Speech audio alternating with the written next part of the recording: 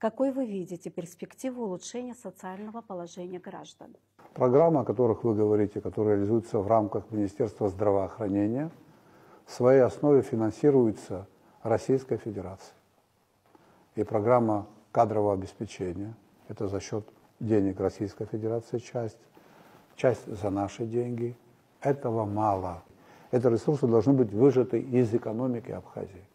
Иначе не будет расширения социальной сферы.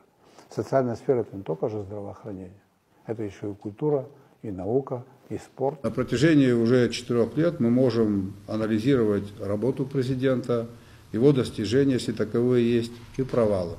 Хотелось бы спросить, а ответ для меня уже есть, что за это время сделано? Какая реформа у нас произошла э, государственного аппарата? Прошла ли у нас реформа правоохранительных органов? Имеем ли мы реформу налоговой системы? Имеем ли мы реформу таможенных органов? Есть у нас реформа в образовании, в медицине, в здравоохранении? В чем у нас и когда кто-либо организовывал и начинал проводить реформу? Конечно же, нигде ничего не произошло.